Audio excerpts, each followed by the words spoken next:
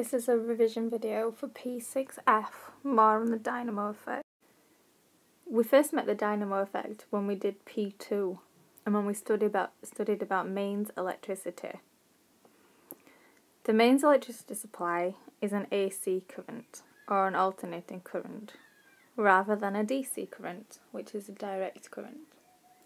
It's got a frequency of 50 Hz this means that the voltage reverses direction 50 times every second. All generators inside power stations generate alternating current using the dynamo effect. They use a rotating electromagnet inside a coil of wire. This creates a changing magnetic field inside the coil, inducing a voltage. If the magnetic field is reversed, the voltage is also reversed. So the magnet generates a current that first flows one way and then the other. You know this as the dynamo effect, or sometimes called an AC generator. It consists of a coil.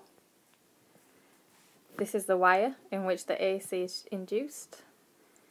It consists of magnets at either side of the coil so that you can have a magnetic field between them.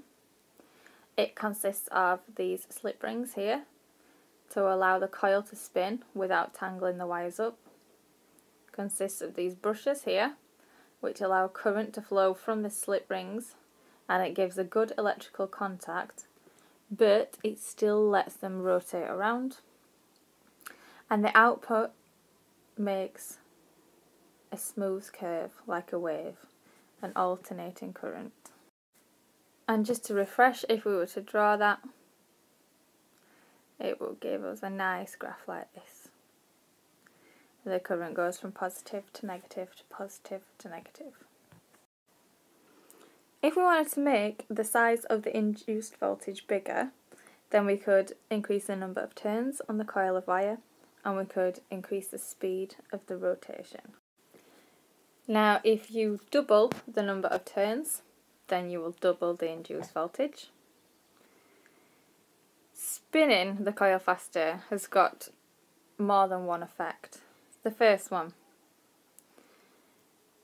it increases the size of the induced voltage as the magnetic field changes faster. If you double the speed of the rotation, you double the voltage. It also increases the frequency of the alternating voltage. So if you double the speed, you double the number of rotations per second, so you double the frequency, or you double the number of times it changes backwards and forth every second.